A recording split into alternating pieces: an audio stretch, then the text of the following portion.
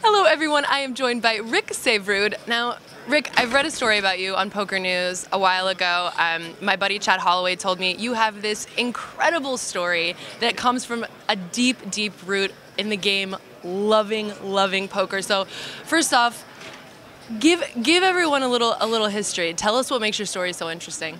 Well, I have uh, stage four cancer.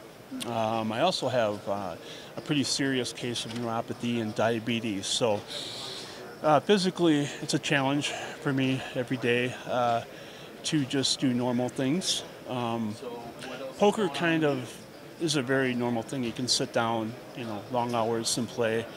Uh, so I enjoy poker. I used to do a lot of hunting and fishing type stuff. Um, but now, you know, I stay away from a lot of the physical stuff. I, I try to exercise when I can. Um, but poker is one of those things that, uh, you know, allows me uh, to sit and play for long hours. And so. Well, it's interesting because actually, um, you know, you're not alone. I've done quite a few interviews with people who say, um, one girl I interviewed recently had a, a bicycle accident, like a motorcycle accident, mm. was stuck in bed. We've got the Doyle story with his leg, and yeah. a lot of people discover poker in their injuries, but you had a love for poker before, right? Yeah, exactly. I, I started like everybody else, really in the, the moneymaker uh, phase, um, and then I really started getting interested uh, when I started noticing all these normal, more normal people, just like me, winning these big tournaments and a lot of money. So I think we all like money. especially me. So I've uh, you know kind of been chasing chasing the dream.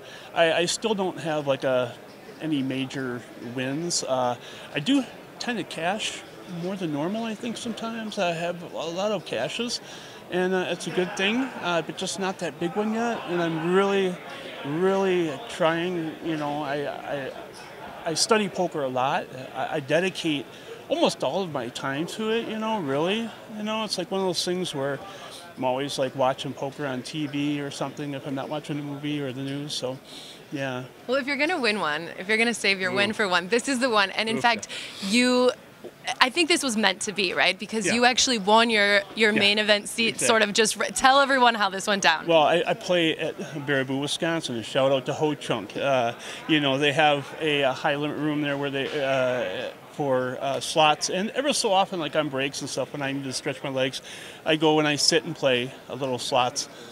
I was up a little bit, and then I decided that I was going to cash out, and I played like two more spins, and I hit ten thousand dollar uh, on the machine. Just what you need.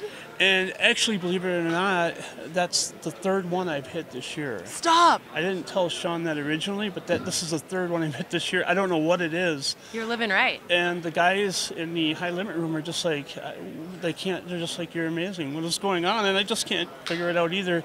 Um, you know. So, but I'll take it, and I'm gonna try and run it up. Take I mean, the 10,000 and run it up. Especially this close to the main event. When you win 10K, yeah, I feel like close, right. the universe is nudging you. You need to go. Yeah. So you doubled up already today. It was funny. I talked to Chad um, the first day that you played, and he said that you had, you know, lost a few pots, which mm-hmm. happens, you know, in the beginning of a tournament, tough, and tough. it's hard to keep your keep your mind right. But clearly, you did. So talk us through a little bit about what's going on now. Yeah. So. Um, I have I have 123,000 in chips, which is pretty darn good, I think, at this level, this point.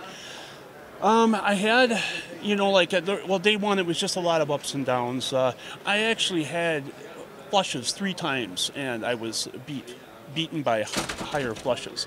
I don't know how I didn't go broke because I had a really good couple hands that were uh, really good flushes, but they had uh, higher, you know, aces and kings flushes, and I just. Uh, but I withstood the storm. I went all in. I got lucky one time. I had pocket queens. I hit a queen on the flop, and the guy had aces, and I got lucky. But, you know, I think That's we all get lucky maybe, you know, a hundred times during this tournament. So, yeah. So.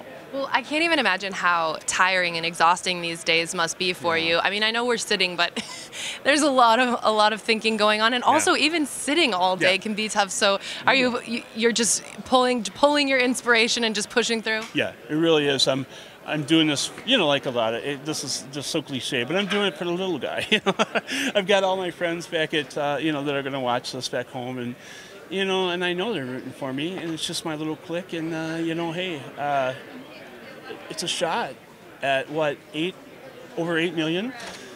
So, but you know, I, I'm keeping it real keeping it definitely real. But uh, yeah. I'm ready um, to take it back to the Wisco. That's what I'm Yeah, saying. Right? Let's ship it back to the Wisco. Right, yes. I, I will give you a little bit of time on your break. I'm sure you want to walk Yeah, around and enjoy, perfect. but I so appreciate you taking the time. and Nice I wish you. I would just love. I'm saying if you win 10K like that, it's meant to be. It's meant to happen. Yes. I wish you all the luck in the world. Thank you so much. You guys are with us here on PokerNews.com.